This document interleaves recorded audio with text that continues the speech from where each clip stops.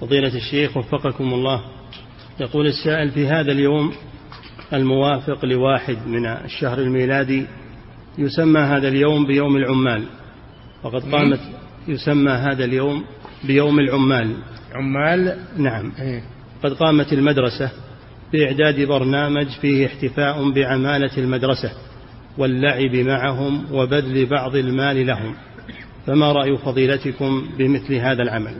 هذا لا يجوز ويجب عليكم أن تبلغوا عن هذه المدرسة عن هذا العمل تبلغون المسؤولين في هذا.